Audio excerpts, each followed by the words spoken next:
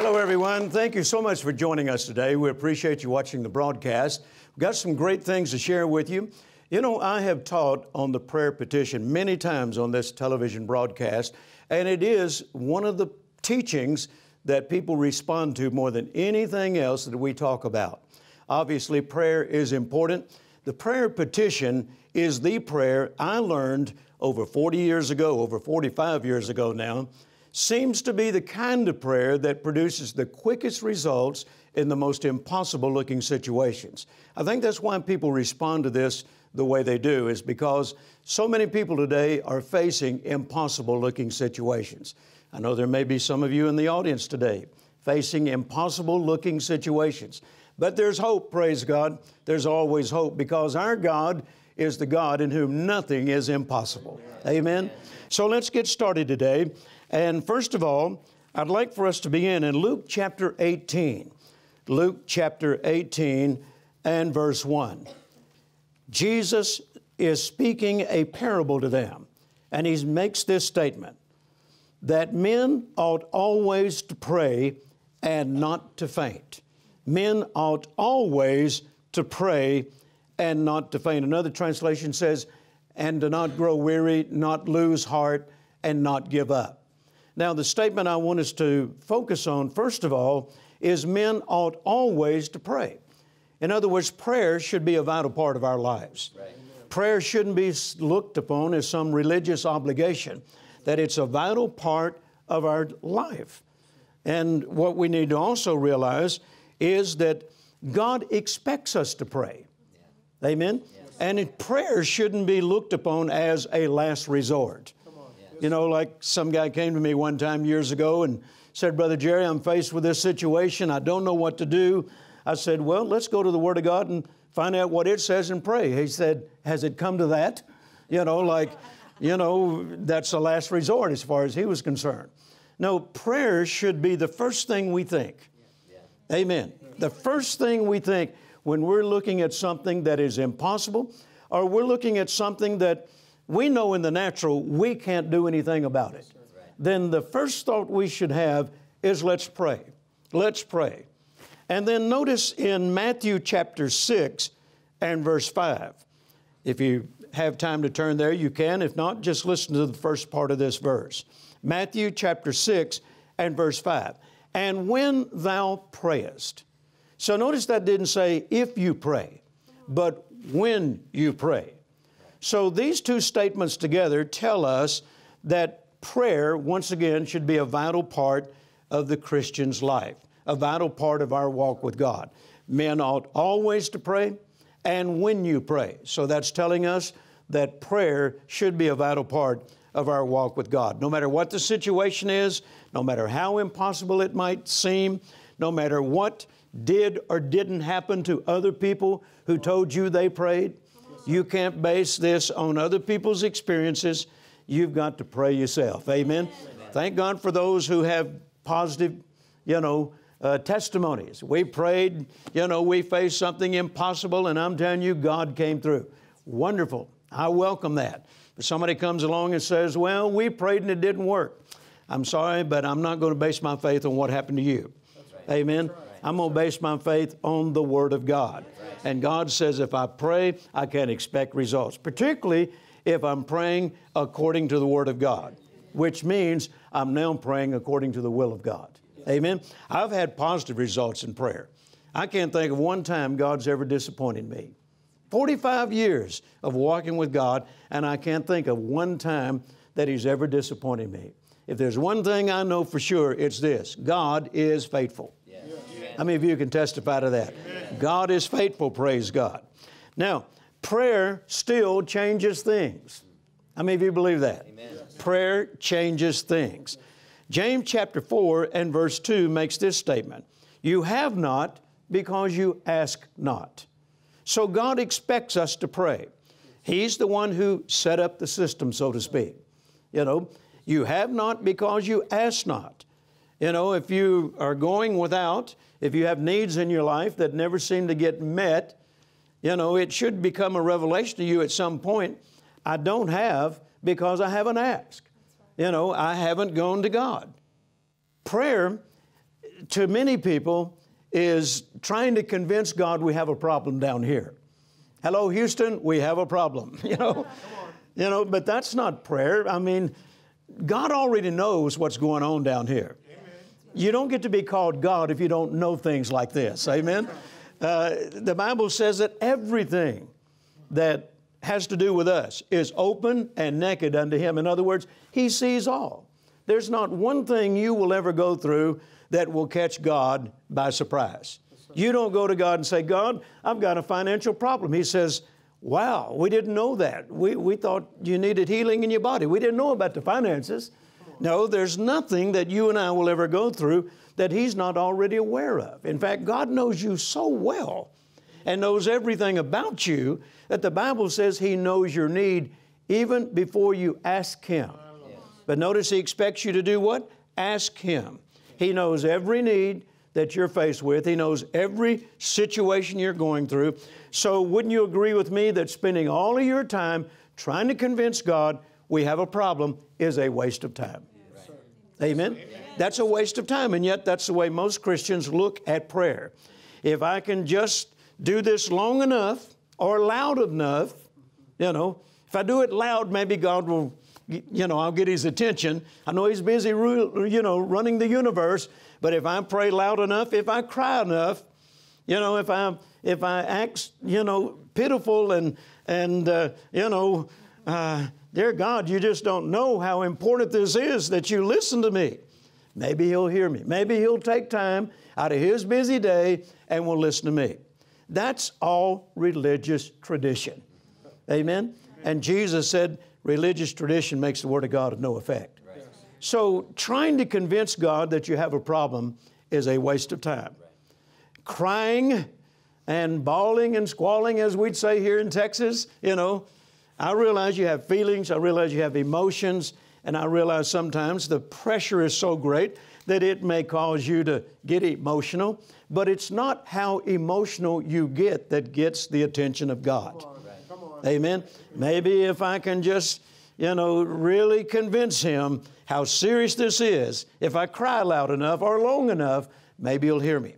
No, let me tell you something. The moment you say, Father, in the name of Jesus, Amen. Heaven stood at attention. Yes. Amen. Heaven stood at attention and is ready to hear what you have to say. Yeah. So the Bible says, once again, men ought always to pray and not faint, meaning don't give up after you pray. If you pray, expect results. Don't give up. And then the Bible says, and when you pray, implying that it's not a matter of if you pray, but you should be praying. And then, of course, James tells us we have not because we ask not. So, what all this tells me is this prayer opens the door to unlimited possibilities. Yes. Would you agree to that? prayer opens the door to unlimited possibilities. And the beautiful thing about it is the one you're praying to is the God in whom nothing is impossible. Can you say amen to that? Amen. Say it with me. The God I serve, God I serve nothing is impossible to him. Nothing You know, once when God introduced himself to Abram and Sarah, and told them they were going to have a child, and we all know how impossible that was according to what the Bible tells us. Sarah's womb was dead, she could not conceive. They're both up in age, so it's impossible. And when God tells them they're going to have a child, the Bible says that Sarah even laughed at the thought of that. Mm-hmm. And God said to Abraham, Why did your wife Sarah laugh? And then he made this statement Is anything too hard for the Lord. Right, right. You got to keep that in the forefront of your thinking. Is anything too hard for the Lord? Now, actually, in the little Hebrew there, it's El Shaddai. Is anything too hard for El Shaddai? And El Shaddai means the God in whom nothing is impossible. Right. So God was asking, Is there anything too hard for the God in whom nothing is impossible? You need to think of that. Whatever you're going through, this is not too hard for God. It's hard for men. It may be impossible for men. I mean, the fact that you're going to prayer already proves you can't do anything about it on your own. So you're expecting the God in whom nothing is impossible to respond to your request. Right. Amen? Amen? And my Bible says all the promises of God are in Him, yea and amen. That means God is affirmative. That means whatever God promises, He fully intends to back it. So it looks like to me, before I go to prayer, I ought to find out what God's Word says. Because if I can find out what God says about my situation, then I have this confidence that He will back every promise He's ever made. Can you say amen? amen? I don't know how you go to prayer, but I go to prayer with expectance. Yes. I go to prayer knowing on the inside that this is not a waste of time. I never think, oh, I hope my prayer gets higher than the ceiling. I never think, oh, I hope He hears me this time. Every prayer I pray because I know what the Word says. I've spent 45 years studying this book. I know what the Word says. And I'm basing every prayer I pray on what the Word of God says. That's the reason I'm confident. If it's a financial need, then I have this promise My God shall supply all my need Amen. according to His riches and glory by Christ Jesus. And if He supplies all my need, that has to include financial needs. Yes, so when I go to God in prayer about finances, I go to Him with confidence, with assurance, knowing up front the will of God. My God shall supply my need. Hallelujah. The Bible says in the Psalms, we'll, we'll read many of these as we continue in this study, but in the Psalms it says that God delights in the prosperity of His servants. Yes. Amen? Amen? God delights yes. in the prosperity of His servants. The Bible even says that poverty is a curse, and thank God we're redeemed from the curse. Right. So you see, if you know what the Word says, then when you go to prayer, when you go to the God in whom nothing is impossible, you have this confidence. You have this assurance God heard me. Not only did He hear me, but I am confident that He will respond, that my needs shall be supplied. Now, here's the problem there's this time frame that I call between amen and there it is. amen. That's that time frame called amen. I pray and I close my prayer with amen. Now, amen doesn't mean the end. It means so be it. Amen. When you say amen, you're saying so be it. So when I pray and I close my prayer with amen, I don't think the end, I think so be it. Yes. Now, there's this time frame between so be it and there it is. Yeah. Yes. That can be moments, that can be months. I've even had it take years. But what God is saying to us is this what are you going to do between so be it and there it is? Because what you do in that time frame will determine whether or not you ever have a there it is. Right. Amen. And what did Jesus tell us? Men ought always to pray and not faint. So feigning between amen and there it is is not an option. Right. Not if you want results. Come on. Come on. Thank you for your enthusiasm. Amen. amen. So feigning, giving up, growing weary, listening to other people, being distracted, you know, allowing the devil to deceive you into thinking nothing's happening. Oh, yes, something's happening. The moment you said amen, something happened in the spirit realm. Yes, now you're waiting for it to manifest in the natural realm. Yes. Amen. Yes, so, once again, there's that time frame between amen or so be it, and there it is. What are you going to do? Are you going to walk in faith, which means not be moved by what you see? Not be moved by what you feel, not be moved by what you hear. Is that what you're going to do? Or are you going to act like a lot of people? Well, you know, I prayed yesterday, I don't see any results, I guess nothing happened. I guess my prayer didn't get any higher than the ceiling. You know, uh, as far as I'm concerned, uh, that's like do not pass go, do not collect $200. you know, in the old Monopoly games, you know. Uh, you, you just forfeited everything by making statements like that. You just negated your prayer. Yes, so there are rules to prayer. And I didn't make them up, God did. Right. Amen? There are rules to prayer. And if you abide by those rules, then you're going to get results. Yeah. There's no doubt about it. You will get the results that God promises you. So, once again, think of prayer as a wonderful opportunity to communicate with the God in whom nothing is impossible. Amen. Think about that. Amen. Mm-hmm. It's also your right your ability, your privilege to communicate with the creator of the universe.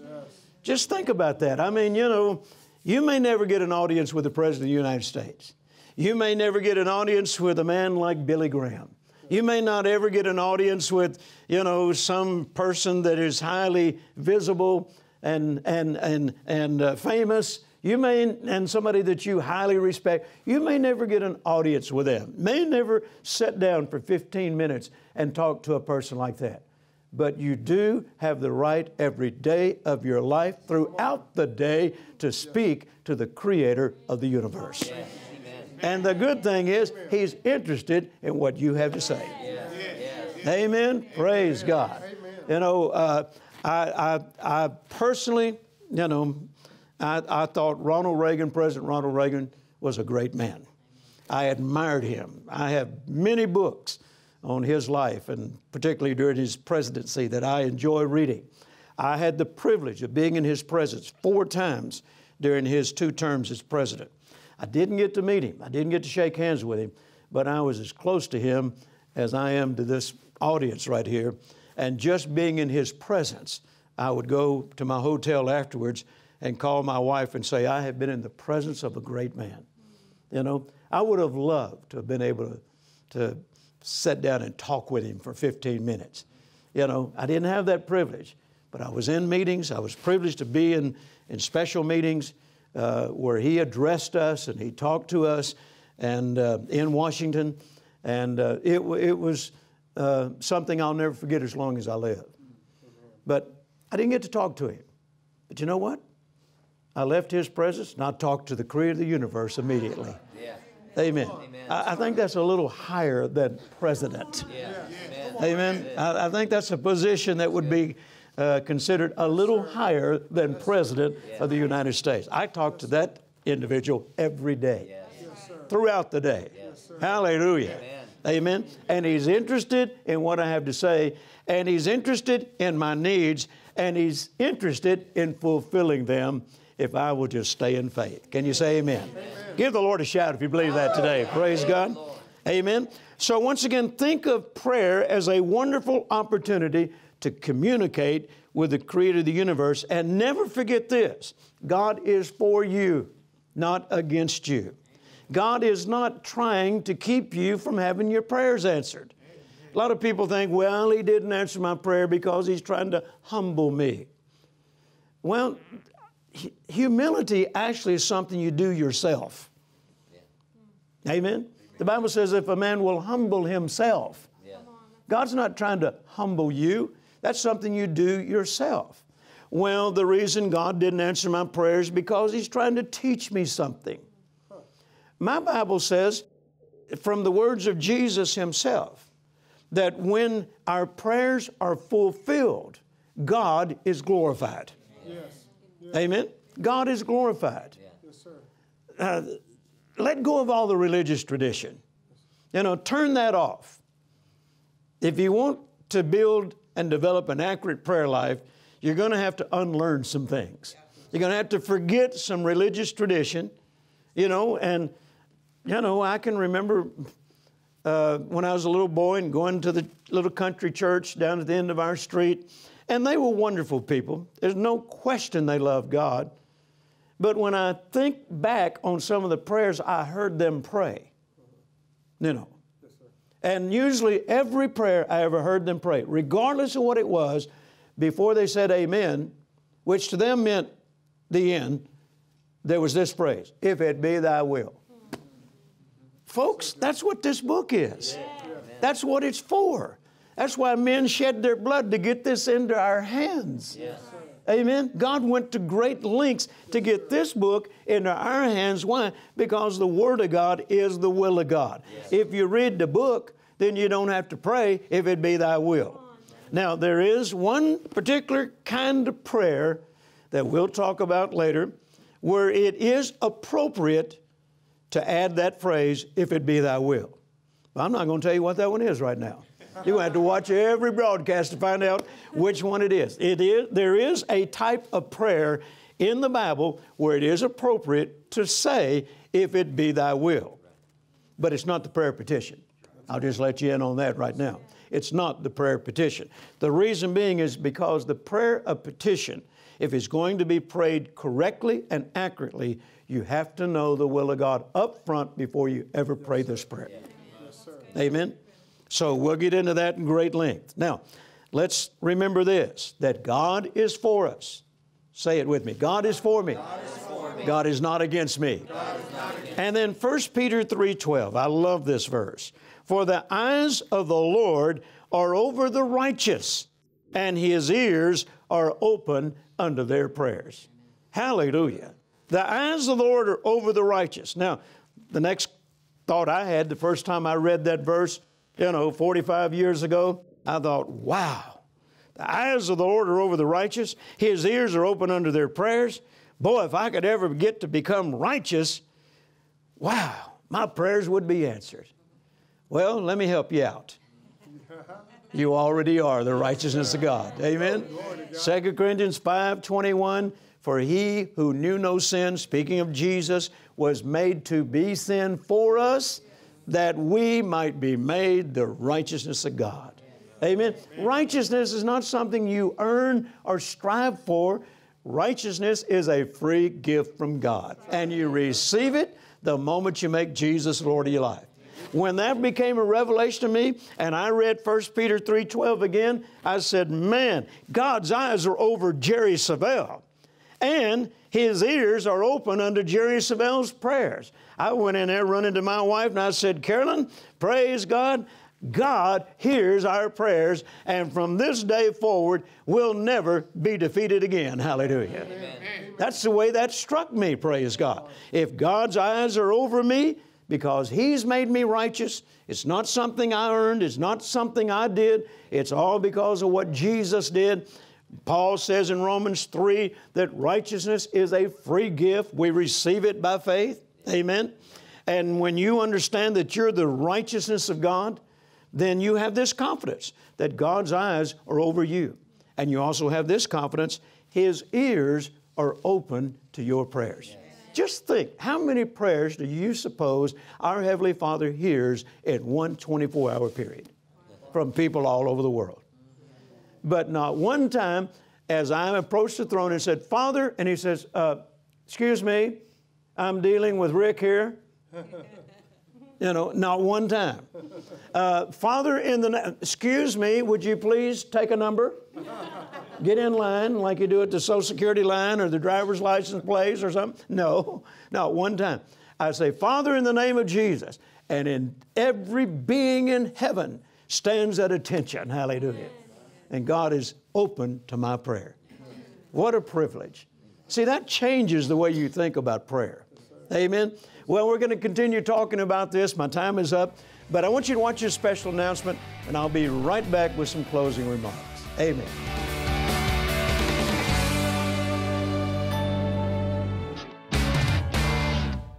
When you pray, you want answers.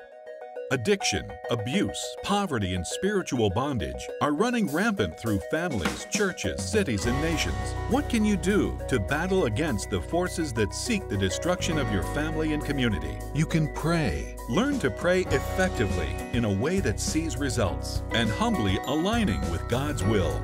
In Prayer of Petition, Jerry Savelle guides you to discover the prayer that gets results. You will study petitioning prayer in God's Word and read testimonies of modern day miracles ushered in by this powerful prayer. More importantly, you'll learn the biblical definitions of petition and supplication. Call now or visit jerrysavelle.org and request your copy of Prayer of Petition. Act now and receive a bonus the companion Prayer of Petition workbook and study guide. Don't wait. Request today. Learn the biblical way to petition the Lord and see miraculous answers to your prayers. Thank you once again for joining me today. I've had a great time. I've enjoyed sharing with you, and I trust that this has built some confidence in you where your prayer life is concerned. Now, we're just getting started. We're going to be talking about this for several weeks. In fact, it may take me months to cover all this, which I don't mind at all because I love talking about prayer. You know, prayer is fun when you know how to get results. Amen. So we're going to be teaching you that because I want you to have the same testimony I have, and that is God has never disappointed me. And you can have that testimony if you learn how to follow the, the uh, application that God's Word gives us for accurate prayer. Now, once again, our special offer this week, my book entitled The Prayer of Petition. Now, if you can't wait to hear all of these broadcasts, I mean, we've got a lot of material to cover. If you can't wait to hear it all, then get the book right away. You'll be ahead of us. You can read about all of this in this book, The Prayer of Petition. I'm telling you, this book has been sent around the world. Everywhere I go, I have people come up to me saying, Brother Jerry, your book and your curriculum on the prayer petition has changed my prayer life. It's one of our best selling books. And I want to encourage you to get it, and so you can learn to develop this accurate prayer life and particularly learn how to pray the prayer petition. Once again, I discovered a long time ago it seems to be the kind of prayer that produces the quickest results in the most impossible looking situations. So, the ordering information is on your screen. You can either write our office, you can go on our website, you can call and uh, order this book. We'll get it to you by return mail just as soon as we possibly can. And then also, I want to encourage you to follow us on Facebook and Twitter and Instagram. There's a lot of great things happening in the ministry. Uh, this is one of the ways that we can minister to you on a daily basis. You don't have to wait to watch the broadcast whenever it comes on weekly. You can follow us each and every day. Once again, Facebook, Twitter, Instagram, and I know that you'll enjoy all the things that you will find on those resources. So, once again, order the book, The Prayer Petition, and please make your plans to join with us next week as we continue this study. Now, I know that there are many of you that are watching that are facing impossible looking situations right now. So I want to pray over you. Father, in Jesus' name, I lift our television viewing audience up all over the world. I pray in their behalf. Father, I know it is your will, based on the authority of your word, to supply their every need. I pray that the confidence from knowing that will rise up on the inside of them and they will receive it and they will declare it, they will decree it, they'll hold fast to it and not give up. In Jesus' name, Amen. Praise God. Thank you for joining us. And once again, I want to encourage you to follow all of the, the resources that we have available to minister to you on a daily basis. Thank you, partners, for believing in the ministry, for supporting the ministry. We appreciate each and every gift that you send and showing us that you believe in what we're doing here. Thank you. God bless you, and we'll see you again next week.